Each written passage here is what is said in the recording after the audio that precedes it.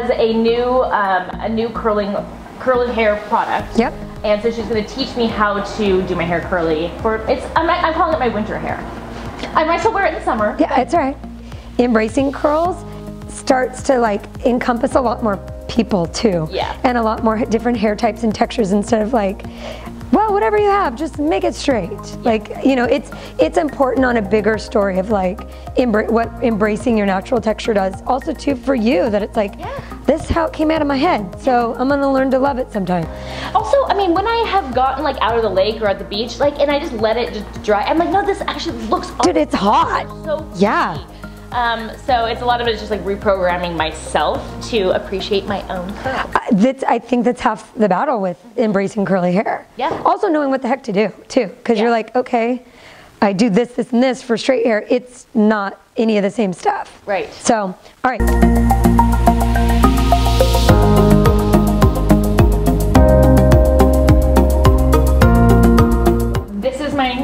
Naturally curly hair, and this look is just going to be like the easy Yep. wash and go. Yeah, this is your like entry to. Everybody can do this. This is even easier. It takes very little to no, no skill set. Great. And this will get you the most natural looking air dried curls and be the quickest. Okay, let's do it. It's pretty wet. We're not using a towel yet. No, uh, we put it into all the product in soaking wet always. Yeah, right. So And- might always. And we'll use, and we'll use a lot less product because we're not like sculpting it. It's not such an intense style.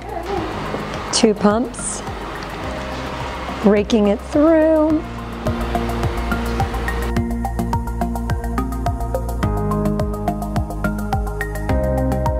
Wide tooth comb. We already put the uh, leave-in conditioner. We want this to just be like a couple pumps and go. Okay. So I'm combing. Got two products and a comb. Okay. Check. Check. Yeah. Go like this.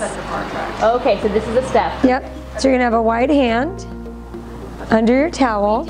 All right. So now, You pile it in there and just squeeze the moisture out. So not like we're being again really gentle with our curls. I think that's probably gonna be your biggest takeaway is like Gentle. chill out. Yeah, like we need to baby them because I want you to see like just from doing that like look at the difference shaping wise. Yeah. Without doing it, it's gonna be a more ruffled thing.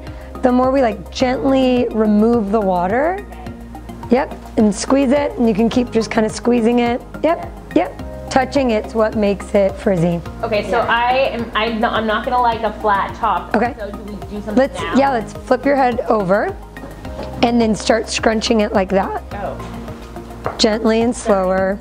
Okay. All right. Yeah, more activated on top. Yeah. Perfect.